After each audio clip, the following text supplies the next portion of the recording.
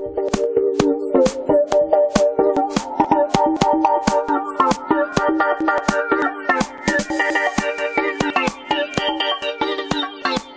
เทศไทย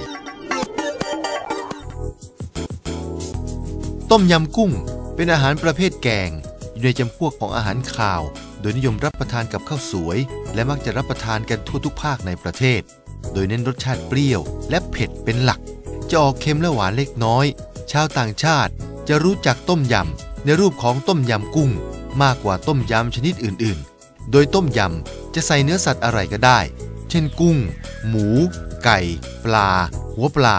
หรือจะไม่ใส่เนื้อสัตว์เลยก็ได้ ผักที่นิยมใส่มากที่สุดในต้มยำ ได้แก่ใบมะกรูด ตะไคร้ ข่า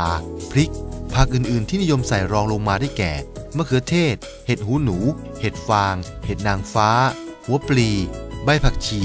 ส่วนเครื่องปรุงที่จำเป็นต้องใส่คือ มะนาว น้ำปลา น้ำตาล น้ำพริกเผา โดยอาหารชนิดนี้ถือได้ว่าเป็นอาหารอีกหนึ่งชนิดที่มีชื่อเสียงในประเทศไทย